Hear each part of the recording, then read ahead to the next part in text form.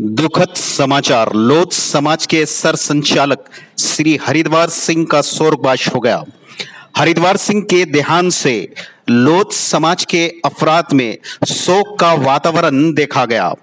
लोधा सम, लोध समाज के गरीब परिवारों को सर संचालक श्री हरिद्वार सिंह सहयोग सहयोग और उनकी खुशी और गम में भाग लिया करते थे।